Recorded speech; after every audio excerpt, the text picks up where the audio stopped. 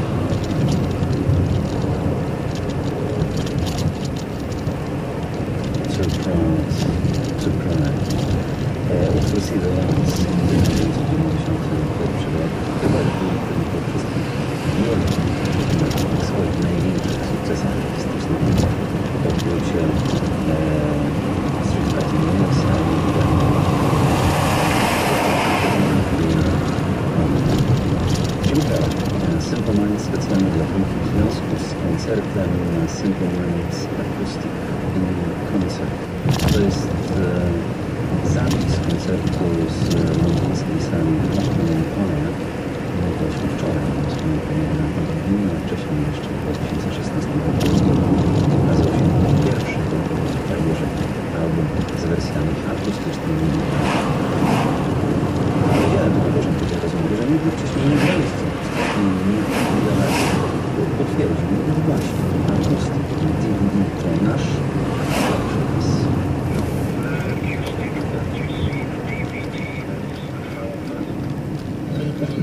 Baby, don't on the box, she says I'm Mr. Rowe. Fantastic. Don't turn on the she says I'm Mr. Boogie. Fantastic. On the she says I'm Mr. Fantastic.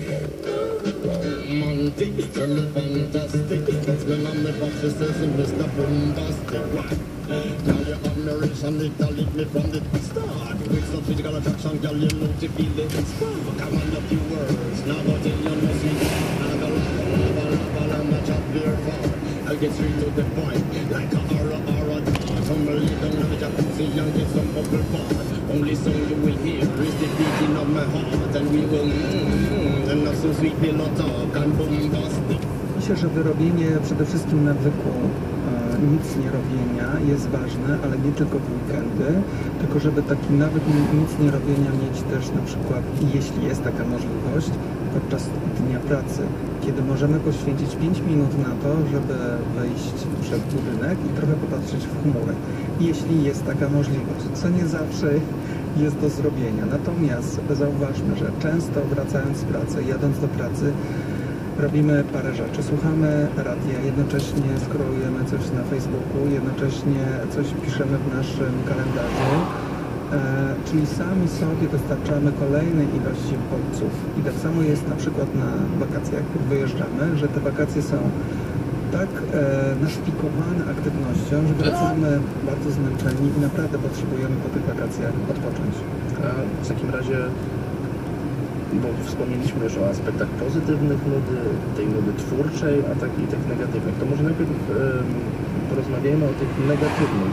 Jak z tego się, że tak powiem, wydostać? Co zrobić, żeby ta nuda negatywna, to co już żeśmy mówili o tym zaplanowaniu sobie, mm, to, to nie wynika z tego, że potrzebujemy ciągle jakichś nowych doznań? Jak to jest? Wynika to przede wszystkim z tego, że my jako ludzie się różnimy, w związku z tym ta nuda może być też e, wyrazem Znaczy, nuda jest jak kolorowy, tak? Że Każdy ma swój tak. unikalny. Trochę tak. My się też różnimy e, między sobą, jeśli chodzi o sposoby nudy. Badacze wyróżniają pięć rodzajów nudy. To może powiedzmy sobie o tym, o, każdym z nich. Nuda e,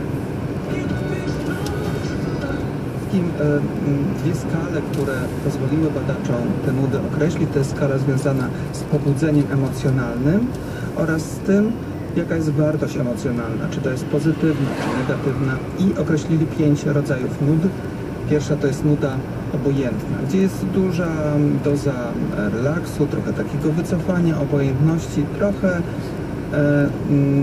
w stylu na kanapie siedzi leń. I jemu jest tam dobrze na tej kanapie. On się trochę nudzi, ale jest mu tam dobrze. Druga nuda to jest nuda regulacyjna. To jest taka nuda, która charakteryzuje się pewną dozą niepewności i podatnością na zmiany. I to jest nuda charakterystyczna, kiedy właśnie scrollujemy naszego Facebooka, bo musimy coś zrobić, Coś znaleźć ale tam. to nawet nie. Musimy jakąś aktywność wykonywać. To jest nuda trochę taka, która, która mm, prowokuje działanie trochę bezcelowe, bo my tam nic za bardzo nie szukamy. My po prostu scrollujemy dla samego scrollowania. Ta druga, ta trzecia nuda to jest właśnie nuda badawcza, czyli taka nuda związana z poszukiwaniem informacji, kiedy rzeczywiście e, trochę jesteśmy podenerwowani i chcemy znaleźć jakieś informacje konkretne.